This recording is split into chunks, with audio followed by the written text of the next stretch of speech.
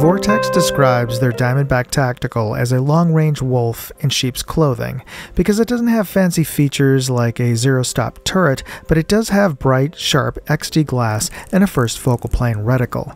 Is that enough? Let's find out.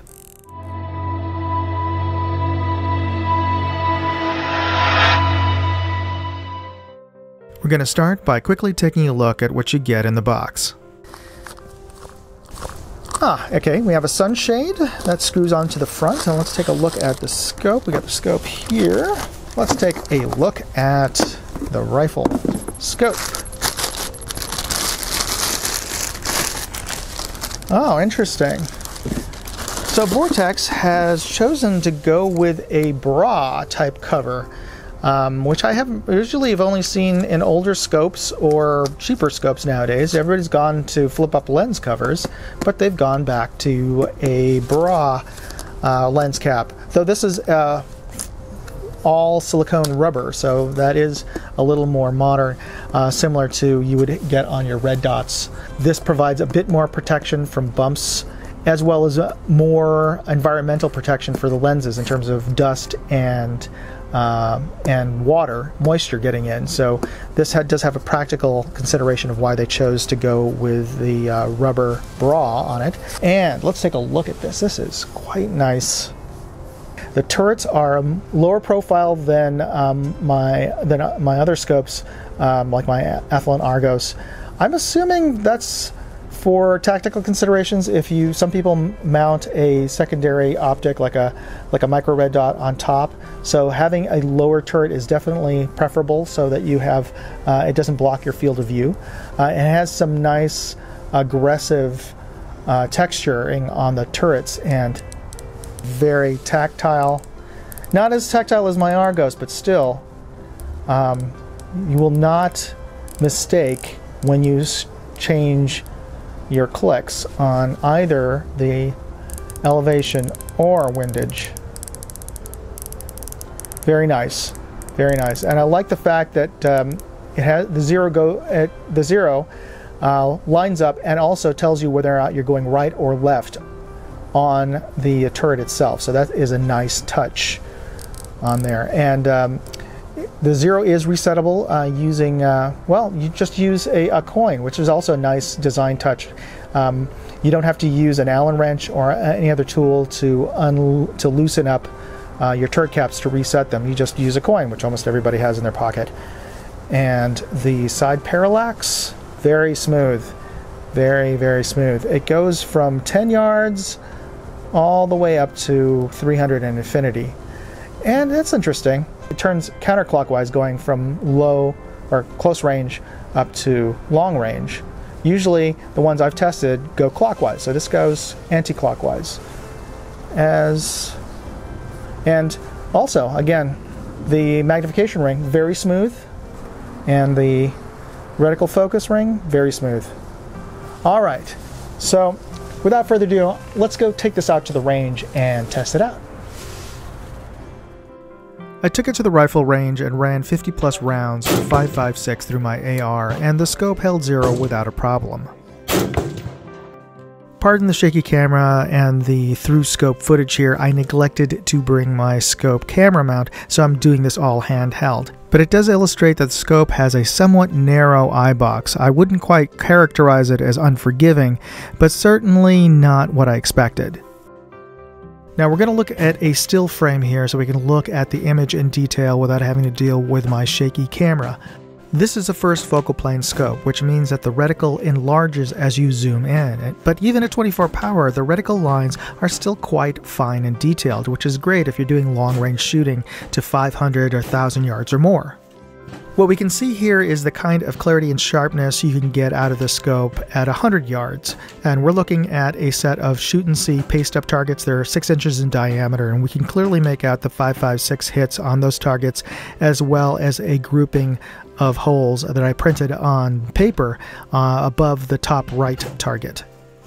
I'd also like to draw your attention to uh, the relative brightness of this scope. You can see it in the image inside the scope versus the brightness of the ambient background uh, of the hillside outside of the scope. As you can see, it is slightly darker, but with most scopes at maximum power, the image is at its dimmest. But what I notice about this scope is that the image is quite clear and bright. This is due to the extra low dispersion glass used in the scope, ED glass, or in Vortex's uh, branded nomenclature, XD glass trademark. You'll see what I mean when I bring the scope down to its lowest magnification setting at 6 power. When you set a variable power scope to its lowest power setting, you're really seeing the best that the scope can offer in terms of uh, brightness, clarity, and color vibrancy. My camera is automatically refocusing because it's detected movement, but now you can see that the scope itself hasn't changed focus between low and high power. I also note that the brightness hasn't changed all that much between 24 and 6 power, which says a lot about the quality of its XD glass. Let's head over to the San Mateo Sheriff's rifle range where we have a lot more control over the lighting and illumination of our reference targets. And while I have you here, if you've been enjoying the review thus far, I'd like to make a blatant plug for my new channel, Moondog R&D, a channel focused on gadget reviews, photo and video gear, you know, geeky stuff. I'll include a link here as well as in the video description and just invite you to go check it out and please subscribe. Next, we're going to test out the turrets. Okay, we have the Vortex Diamondback here, and we're just going to look at the range of adjustments on the turrets. This is as far down as it goes. The manufacturer states that there's a total of 65 MOA worth of adjustments in elevation and windage in these turrets, or 19 MRADs in the mil version of the scope. Now, I'd like to point out that vignetting you're seeing in the image is not something you'll see with the naked eye through the scope. And here is the adjustments on the windage. The vignetting you'll see as we get to the extremes of adjustment are an artifact of the camera mount and my phone camera because phone cameras actually have a, a much narrower field of view than our own eyes. I also noted just how uh, tactile and loud each of the clicks on the turret adjustments are. Next, I brought up the scope to its maximum 24 power and conducted a box test to see how well it tracks. Full rotation on the elevation. Full rotation on the windage.